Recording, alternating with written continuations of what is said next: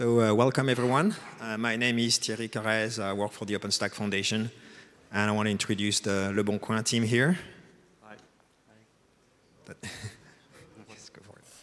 Hi. Uh, so I'm Sonia Ouchtar, this is Guillaume Chenuet, and this is Benoît Bayszczak. And uh, we work in Le Bon Coin in the engineering productivity team. So basically, we are taking care of the CI, the CD, and any developer, any tools that can ease the work of the developers. So to, to start things off, I wanted to give you a quick perspective on the history of the tooling we've been using for, for OpenStack. Had the chance to be at the, the very start of the project, and it evolved a lot, and I think it gives perspective on the type of tooling we've been building, and seeing it adopted beyond OpenStack is, is really awesome. Um, so once upon a time, we started from day zero with gating in OpenStack, which is the idea that uh, no human should ultimately merge the changes onto the code repository, but you need to have a machine do it and check a number of things for you. Um, from day zero, we were using tooling that was uh, built on uh, Ubuntu tooling. So Launchpad was used for code review. And we used a piece of software called Tarmac, which some people in the room might still remember of fondly, uh, that was doing very, very basic serial gating. Uh, and by that, I mean it would check that you provide a commit message, I think, and uh, would run very, very basic checks on your, uh, on your uh, approved change.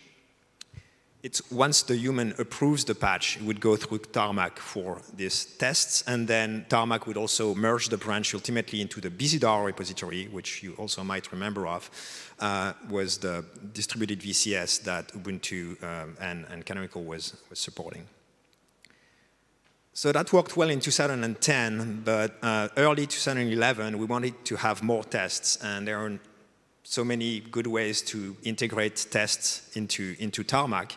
So we, we started introducing Jenkins here to provide more complete serial gating. So we'd be able to run a body of tests on every approved change to make sure that everything was all, all right there. Um, and Tarmac would still be used, called from Jenkins, to uh, do the merging of the branch. Uh, another benefit, side benefit of using Jenkins here is that it would watch the Bazaar repository for changes, and we would have the ability to also run jobs once the change merged. So all the post jobs, uh, post-merge jobs would be, would be defined starting from that uh, early 2011 period. During 2011, we migrated from uh, using Launchpad and Bazaar to using Gerrit and Git. And so that changes slightly the, the perspective because we could rely on a stronger integration between Gerrit and Jenkins through the Jenkins Gerrit plugin. And so that let us add tests that check tests that would run on every proposed change. That was a really uh, uh, changing experience for the OpenStack developers. They wouldn't run the tests locally anymore to, uh, to be able to uh, detect issues. They would just throw the patch to the th system and the system would report issues with it, which, uh, given the complexity that OpenStack started to reach around that time, was really uh, the, only way to, the only way forward. And uh, obviously, Jenkins would also uh, be connected to Gerrit in terms of post-merge activities, so we would have post-merge jobs uh, based on, on Gerrit events as well on day three, so by the end of 2011, the problem is OpenStack was growing really, really fast, and we were hitting the limits of uh, serial gating.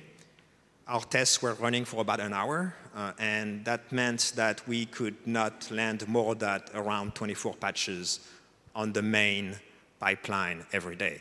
So you may have seen in the keynotes that we're currently running around 282 changes per day. So you can have an idea of how much uh, of a problem we're having by being limited to 24.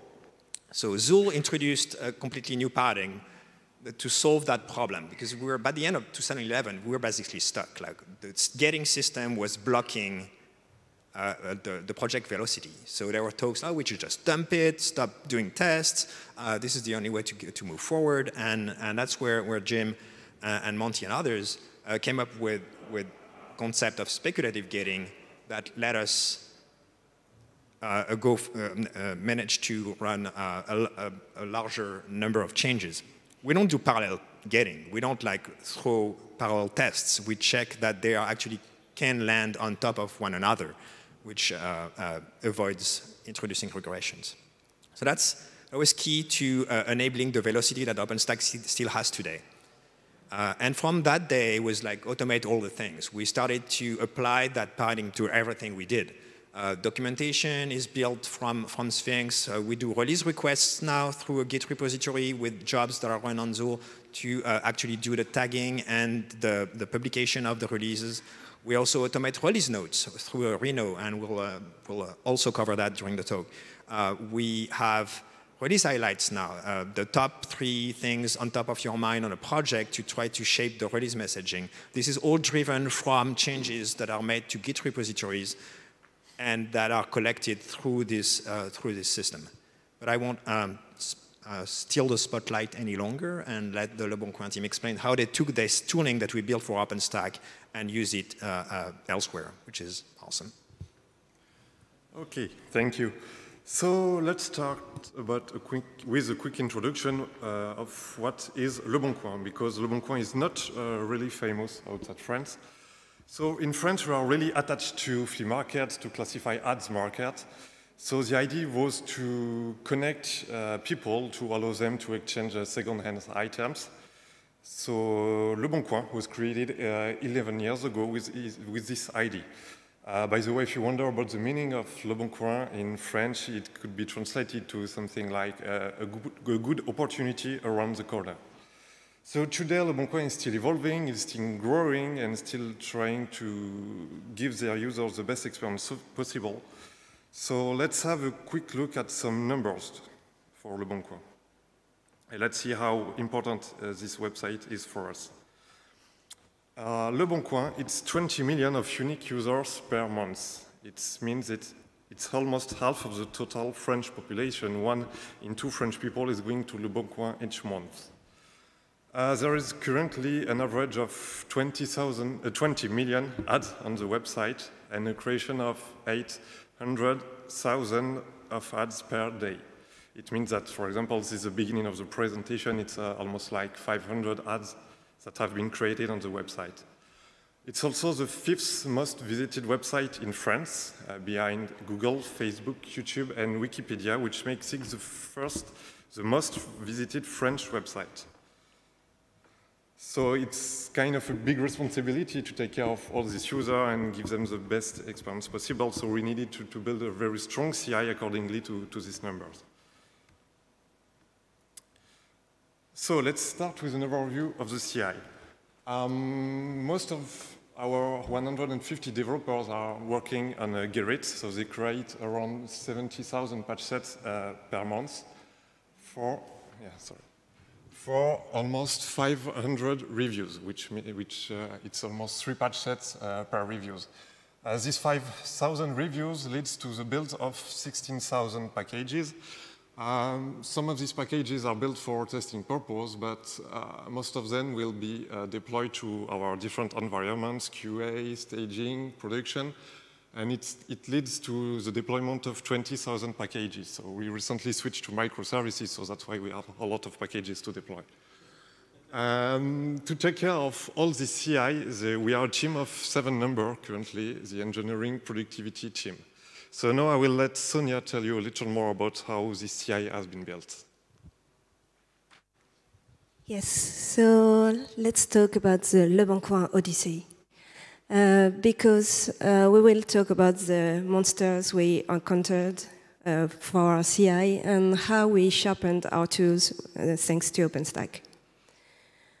So during uh, the four years of the team, we always try to keep it simple, to be coherent, and to be the to be more maintainable every year. So we will talk about the CI evolution since the beginning of the team. You may wonder why uh, we present only four years, because Leboncoin is 11 years old, but it's because the team didn't exist before that. So we will present our journey year by year. So it's 2015, it's the beginning, and we only have two things. Uh, the engineering productivity team has been created, thanks to a huge demand from the backend team, they wanted to improve their quality. So we introduced Gerrit so that they can improve the quality of their code thanks to uh, code reviews. And also Jenkins so they can improve the quality of their features thanks to more testing of their features before the integration. Um, yes. But uh, yeah, previously you saw that we were still missing, missing some stuff. We were still um, using uh, the UI to uh, configure our Jenkins jobs, and uh, obviously there was not enough things. So now we introduced uh, tools for the documentation, like Reno and Sphinx, and uh, Git review to ease the use of Gerrit, and the Jenkins Job Builder for the job's description. So uh, Reno, um, to explain more, it's a release note uh, tool where you write uh, YAML files uh, listing the new features you want to add in your in your code, the upgrade notes, etc. So it was a quick win for us because it was a good way for the developers, for example, to talk about the PostgreSQL tasks they wanted to update to the sysadmin team, which was doing the production deployment afterwards. Um, Sphinx, it's in RST, so it's uh, text-based, and it's easier also for the developer to um, to uh, put new documentation along with their code as they commit it uh, along the way, and its version, and it can be commented. So it was also uh, very simple for us to present it to the developers. And uh, Jenkins Job Builder, it's also in YAML, and we love YAML at Leboncoin. So it's a, uh, it's a way to describe your, your Jenkins jobs uh, with uh, different steps. And uh, it's user readable, which is nice. It's better than XML files. And also, it can be reviewed by other team members so uh, you have a high maintainability and also you can recreate it very easily in case your Jenkins instance is just dead. So we will continue with uh, Guillaume who will present the 2017 year. Okay, so let's speak with the microphone. Um, as you may know, um, as you may see, sorry, uh, 2016 uh, 16 was about uh, formal tooling, but it was not enough as the company is still growing. So we need to find another um, tools to scale our CI. So let's start. Our first idea was to manage more Jenkins slave workers. So at the beginning, it was working because uh, our master instance was strong. But uh, after some time, the Jenkins master was not um, performant and the scheduler start um, lagging. So we try another idea, which was adding more master instances. So it's a good idea, but it's not working because Gerrit is not able to manage the same label with different Jenkins master. So it was a good start, but not enough. So the solution was, tadam, Zuul. So Zuul was already used by um, OpenStack and Wikimedia Foundation. So it was working and in production. It was a good point for us. Um, Zuul is, uh, as you may know, it's a gating project system, which means you can run a job in pipeline. I will speak about pipeline later. Um, and it's performant, so it's cool. Um, what say, um, with, uh, with Zuul, you can uh, do serial gating, running job in parallel, so you can have, uh, you can vote on different labels, so a lot of uh, features. Let's talk about pipelines. So if you already know the OpenStack um, CI, it's kind of the same pipeline. We have uh, three big type of pipelines. We have the check pipelines, we have uh, build pipelines for when you have a review on Gerrit with new patches. Three pipelines are triggered. The first one is about build. So if your application is on Go, you build your Go binary. Um, the integration one was, is about um, testing the code with unit tests. And the last one is about quality, so uh, around um, code linter or everything else. Um, once your change is merged, we have the post-merge pipeline. it's a simple pipeline only to build your application, upload the artifact, and also build and uh, publish your documentation. And the last one is about tag. So if you have, um, if you want to create tag directly on your Git repository, you can do it, and Zuul will, at the same as the post merge, will create and build and upload your artifact and documentation.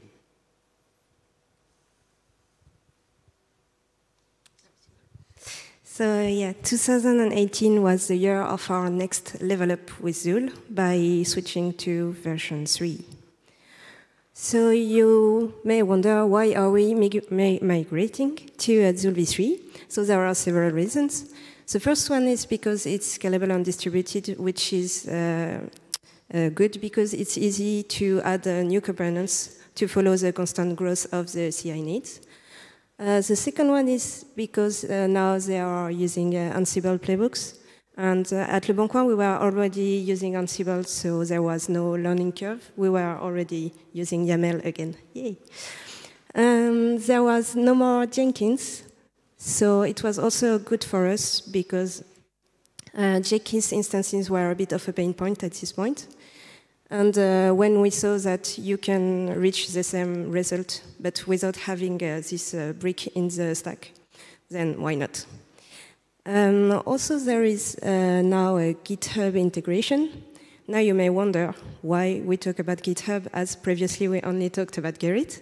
But uh, some of our teams in Le Bon Coin are using uh, GitHub. So it can be a good opportunity to reunite everyone under the same CI tool. And also, um, it's uh, up to, Zuul v3 is more up to date because OpenStack was obviously uh, moving from V2 to V3. So why not follow them and uh, stay AG? And also, uh, Zuul v3 is uh, community driven. So it's uh, way easier to uh, communicate with people, find them on, on IRC, and have any information you want. So I will give uh, Benoit. Yes, so let's talk a little about Zuul version 3. I know in the room that some people may already know how it's working, but uh, let's have a very quick look. Uh, first of all, what changed between version 2 and version, and version 3? So first of all, Jenkins slaves are now replaced by an OpenStack cloud platform. So now jobs previously run on slave nodes are now run on virtual machines on uh, OpenStack. Um, as Sonia said, jobs are now executed uh, with Ansible playbooks, which is nice for us. And uh, over OpenStack Cloud Platforms, there are another components, Nodepool. Nodepool is in charge of the virtual machines lifecycle. Is in charge to keep a, a, pool of virtual machines ready, and is able to provide it uh, to Zuul. Zuul is a component which uh, listens to Gerrit events and uh, read pipelines and launch jobs in consequence. So another nice thing is uh, that jobs can now be embedded directly in the code repo, so the developers are now able to write directly their own jobs, their own tests. So let's see how, like, let's have a little more detail about uh, Zuul components. Uh, there are four main components uh, in Zuul. The Zuul Web, which is in charge of displaying the graphical interface, UI. Uh, the Zuul Merger, which is in charge of Git merging operations. The Zuul Executor, which is in charge of uh, executing Ansible playbooks on uh, virtual machines.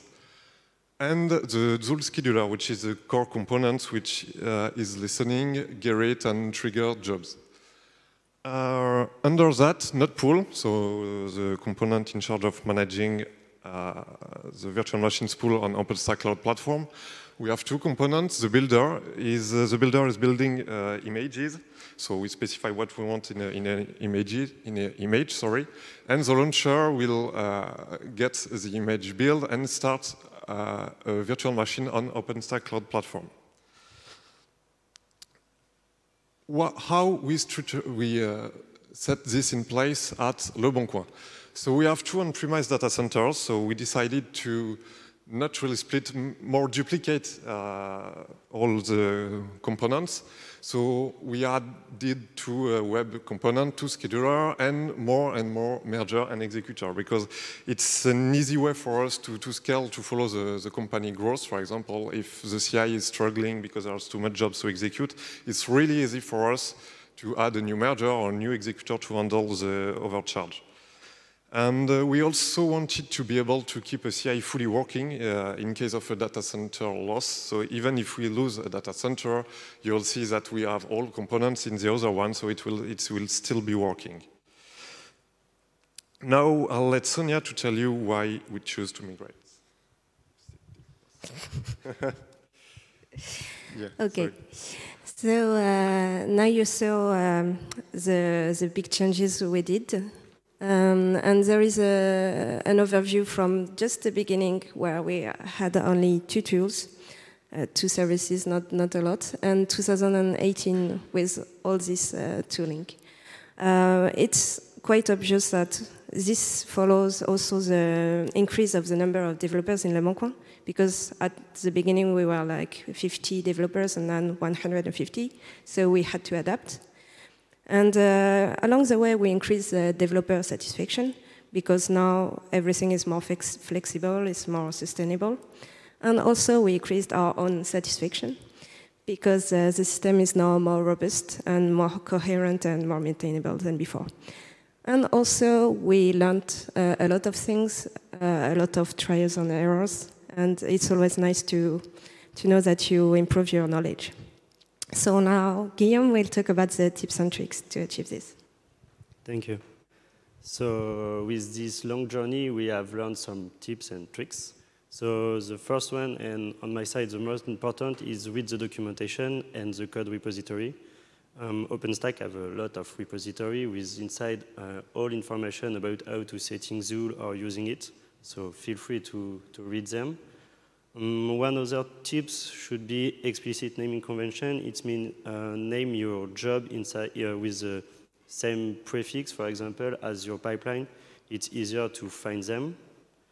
About monitoring and graph, it's very important to have it. With this, uh, with this tool, you can uh, um, find some uh, some uh, problems or improve your your CI. Um, benchmarking also is also important. Uh, as we start, uh, when we start the, um, the Zuul, the Zuul v3 migration, we start with a, with a proof of concept. So it was important for us to, to benchmark if, if you need some CPU, RAM, and other stuff like that. Um, as Zuul v3 is now a really a, a real project with a, a real open source project, feel free to keep in touch with the team on IRC. It's very important, and it, you save a lot of time also. And uh, as each company have a legacy of other uh, boring stuff, fine-tuning of tooling is authorized. You can set your legacy stuff with, uh, with Zuul. It's working. So that's for the tips and tricks, and thank you. and if you have some questions, feel free, feel free to ask. Thank you.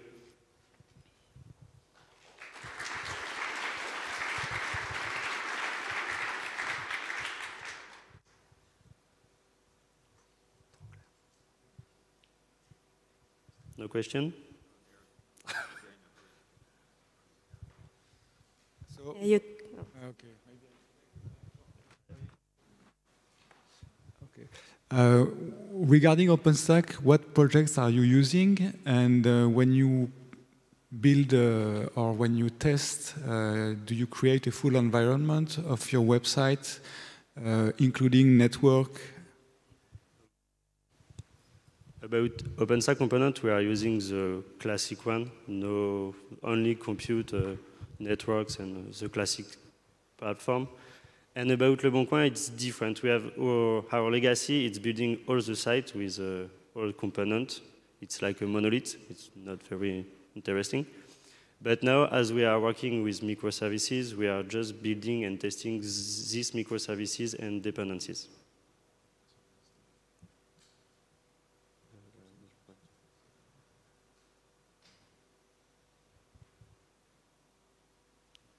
Other question? No? Thank you.